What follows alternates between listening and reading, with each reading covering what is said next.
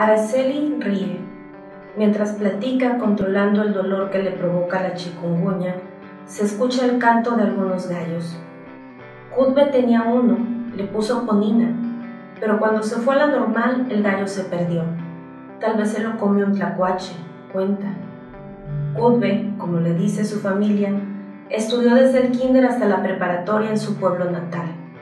El primer día de preescolar gritaba que lo fueran a recoger, pero el segundo día ya no.